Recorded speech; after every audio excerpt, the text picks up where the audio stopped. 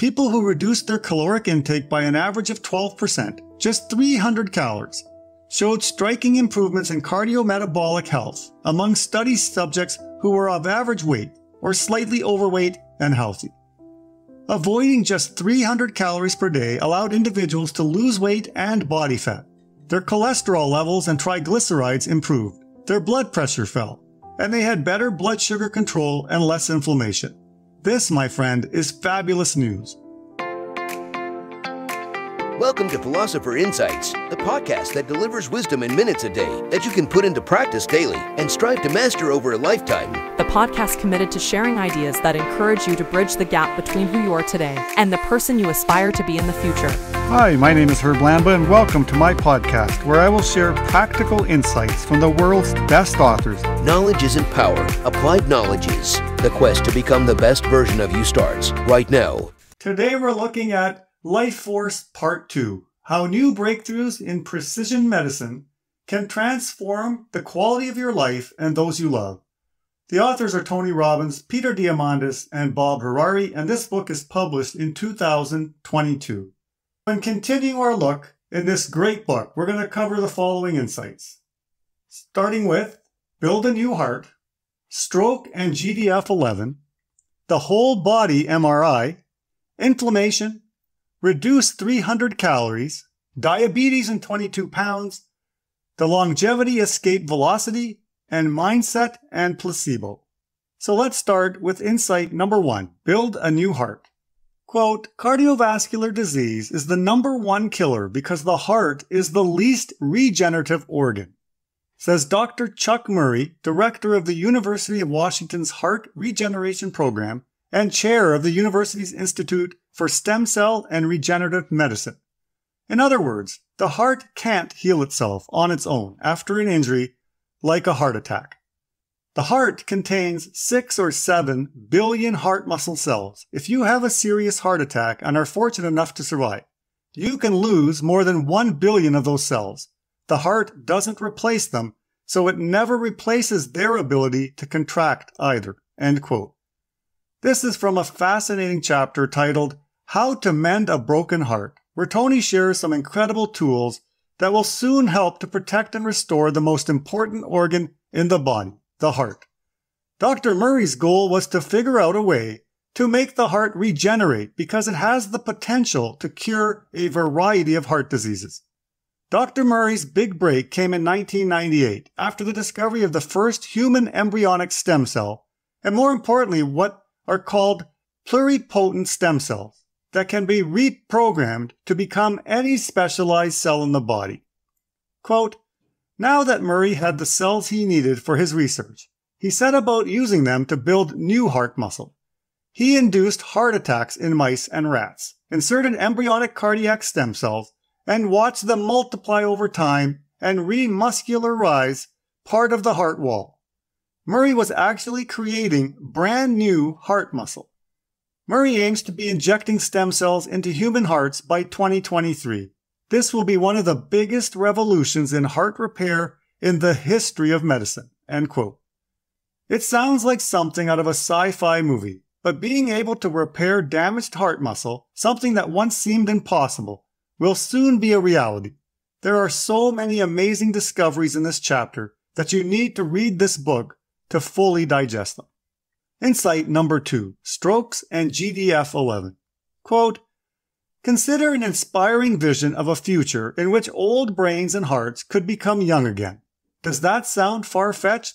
That's exactly what's unfolding at Elevian, the company run by Dr. Mark Allen, MD. Elevian has developed a naturally occurring protein called growth differentiation factor 11, GDF 11, with powerful regenerative properties. Aged mice that received an injection of GDF 11 saw a reduction in age related cardiac hypertrophy, an enlarged or thickened heart, which is a hallmark of cardiac aging. GDF 11 also boosted brain function, improved skeletal muscle repair, and increased exercise capacity. Whereas the gold standard treatment for ischemic strokes needs to be delivered within a narrow 4 hour window, GDF 11 can act up to one week later. A potential treatment that can work up to a week after the ischemic stroke would drastically change the face of stroke medicine. Just as with the heart attacks, the future of treating strokes is extremely bright. GDF 11 is a huge discovery that would allow the body to increase its capacity to regenerate. Elevian was in phase 1 trials at the time this book was published, but are expecting to be treating strokes in 2023. Insight number 3 Whole body MRI. Quote If you want to stay healthy and head off trouble, there's no better diagnostic tool than the newest form of the whole body MRI. What does a whole body MRI scan entail?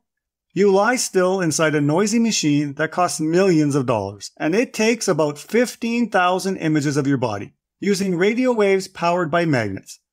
But the diagnostic data you derive from this test can be absolutely priceless. Among other things, the MRI can detect solid tumors of the neck, chest, abdomen, pelvis, and brain, along with other life endangering problems like cardiac disease, aneurysms, and neurodegenerative diseases such as Alzheimer's and Parkinson's. End quote. Tony suggests combining this whole body MRI with the Grail blood test, which I mentioned in part one of this Philosopher Insight. Many people prefer to live in ignorance, feeling that it's better to be ignorant than to know. I completely understand. However, the precision of this MRI and the Grail blood test allows you to live your life with confidence in your future health, or to begin making lifestyle adjustments depending on the results. The key to avoiding getting taken out by these major illnesses at a young age is early identification. Quote, as Peter explained, there's one overarching question that we're looking to answer with all of this next generation diagnostic testing. Is there anything going on inside your body that you need to know about now? And if you find something, the answer is not, oh my God. It's okay. I'm going to crush it. So when people say to me, I don't want to know, I say, bullshit. Of course you want to know. You want to know as soon as possible when you can do something about it. Put simply, it's all about empowerment. End quote. That passage has a lot of power, obviously. You want to know, but you're frightened of getting devastating news. Early bad news is actually good news since it empowers you to make the necessary changes and continue living a healthy and productive life. Insight number four inflammation. Quote, there are two main types of inflammation acute and chronic. Acute inflammation is painful but generally positive because it starts the healing process. In the first few minutes after an injury, the damaged tissue sends off an SOS alarm throughout your entire body. By making your blood vessels leaky, hence the swelling, acute inflammation enables immune cells to quickly enter the affected area and start immediate repairs. But what if that original insult to the body never gets fixed, or keeps getting repeated? The result can be chronic inflammation, which activates your immune system into a state of wartime readiness for months or years at a time. Chronic inflammation can lead to epigenetic DNA damage and diseases ranging from rheumatoid arthritis to cancer. This is one of the clearest ways to distinguish between acute and chronic inflammation. Chronic inflammation is now believed to be at the root of many autoimmune diseases, so learning to control it is vital to a healthy future. Quote, to control and alleviate chronic inflammation, we first need to learn how to measure it Edifice Health has created the world's first diagnostic test to reveal a person's inflammatory age or iAge. The best gauges of our inflammation level and our inflammatory age are about 7,500 proteins. Edifice has condensed this large set to a core panel of five protein biomarkers, and their predictive power is startling. They can foretell frailty seven years before it happens. They can predict cardiovascular aging, arterial stiffness, and heart thickness, even in currently healthy people. The Edifice blood test and iAge metric is also able to pinpoint people with undiagnosed autoimmune diseases. End quote. Simply incredible. Chronic inflammation is at the root of many autoimmune diseases, and being able to accurately gauge our inflammation levels to predict future health issues is truly remarkable. This technology is available today at a cost of $250 per test and is expected to be available commercially by mid 2022. Insight number 5 Reduce 300 calories. Quote During a two year investigation published in The Lancet, people who reduced their caloric intake by an average of 12%, just 300 calories, showed striking improvements in cardiometabolic health among study subjects who were of average weight or slightly overweight and healthy. Avoiding just 300 calories per day allowed individuals to lose weight and body fat. Their cholesterol levels and triglycerides improved, their blood pressure fell, and they had better blood sugar control and less inflammation. This, my friend, is fabulous news. What other minor intervention can produce such massive changes for the better with so little effort? William Kraus says, quote, There isn't one drug that does all that to accomplish everything we did with caloric restriction. You'd need five drugs. End quote. It turns out that losing weight, even amounts that may seem relatively trivial, can dramatically benefit overweight people with insulin resistance or prediabetes. Fortunately, even extremely small weight losses improve glycemic control, and moderate weight loss often prevents ameliorates type 2 diabetes, says Dr. Kahan.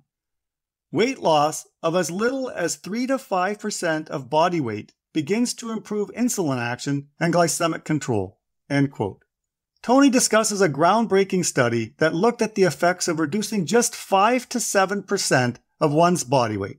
In a 200 pound person, losing 10 to 14 pounds lowered the incidence of type 2 diabetes by an incredible 58%. There are no pills or surgeries required. Merely limit your caloric intake and wait for the results. Insight number six type 2 diabetes and 22 pounds. Quote, in a nutshell, losing a substantial amount of weight in a relatively short period of time can actually reverse type 2 diabetes. People with type 2 diabetes now have a choice rather than a life sentence, says Dr. Ron Taylor, MD. And that's not all. Not only did investigators demonstrate that reversal is possible, they also determined that it involves what is fast becoming the holy grail in the treatment of diabetes the restoration of beta cells, those insulin producing cells in your pancreas. End quote. This is another groundbreaking piece of information since prior to this discovery, it was widely assumed that type 2 diabetes could not be reversed and that damaged beta cells caused by obesity were irreversibly lost. Quote, Bottom line, when you take away the fat, the beta cells regenerate. They start producing insulin, and the diabetes disappears. And you slash your risk of a whole host of devastating complications like cardiovascular disease, kidney failure, Alzheimer's, amputation, impotence, depression, and blindness. I don't know what the scientific term is for a simple intervention that can heal your body in so many vitally important ways, but here's mine. Magnificent. End quote. Magnificent indeed. You might be asking how much weight people have to drop to have such a dramatic impact on type 2 diabetes. The magic number was 22 pounds.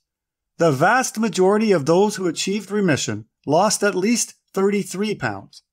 If you or someone you know has type 2 diabetes, I hope this motivates you to take the steps necessary to possibly overcome the disease. Even though it is difficult, it is well worth the effort.